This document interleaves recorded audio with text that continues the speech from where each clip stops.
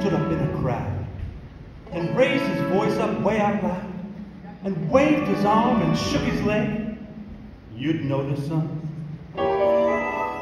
If someone in the movie show yelled, Fire! In the second row! This whole place is a powder keg! You'd notice something. And even without clucking like a hen, gets noticed now and then. Unless, of course, that personage should be inconsequential.